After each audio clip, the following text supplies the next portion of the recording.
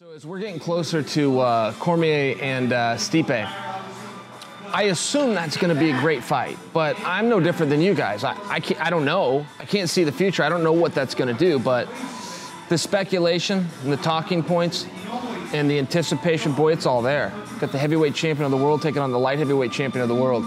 And in, uh, in many eras in the UFC, we wouldn't have been able to see this fight. Dana was really big on keeping guys in their weight class and building divisions, and, and now it's to the point where fan, there's some fights we just want to see. Do us a favor and give us a fight. So that's kind of what got us to the situation. I want to speak on this though because uh, when I do hear the talking points come out, it's overwhelming how many people believe Stipe is going to have the size advantage. And you get that. You know what that's based on? The heavyweight take it on the light heavyweight. That makes sense logically, but not so fast. I, th- I feel like this is one of the best kept secrets in MMA right now. I don't have the answer for it, but the question is how much does Daniel Cormier weigh? I will not be surprised to the point that I will make a prediction for you guys now that when they weigh in, Daniel Cormier is heavier than Stipe. Stipe Miocic throughout his career has been very consistent to weigh in anywhere between 239 as a bottom and 241 as a height. I suspect he weighs about 240 all the time and puts on different shorts every now and then.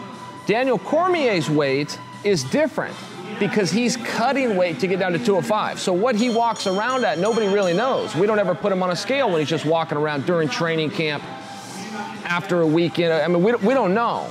We know what Stipe weighs. So Daniel I believe is going to come in at more than 240 pounds, which leads me to predict to you he will be the heavier fighter. If I'm wrong, the absolute lightest Daniel Cormier will weigh in is 236.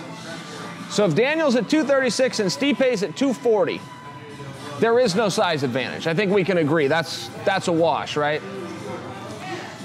Let's go to the other side of it if Daniel does weigh in heavier as I predict. I imagine in the 24 hours we're going to have between the weigh-in and the fight, the headlines will come out Daniel Cormier is out of shape, Daniel Cormier is going to be slow, Daniel Cormier is not going to be able to move. In most walks of combat, including boxing, that would be a very accurate assessment of a guy coming in so heavy, but not with Daniel Cormier. And I want to tell you guys why. First off, he's a lot bigger than you think. He has one of those bodies where he has an ability to gain weight very fast.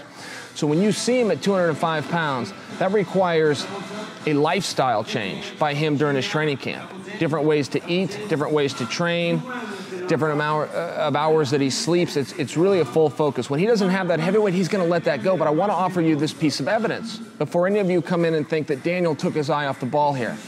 There was one year uh, of international wrestling where he went heavyweight. He generally competed at 96 kilograms, which is 211 pounds.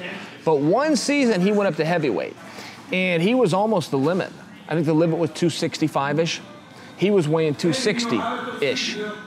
And he ended up in a tournament. He took on Stephen Mocco, who was the number one heavyweight United States wrestler, third best heavyweight in the world. They met up in the finals, and Daniel beat him one to nothing. The relevance there is he is one of these guys that even though he has traditionally fought at 205 pounds, and that's what you're used to seeing, he does have a history of competing at heavyweight and competing there successfully.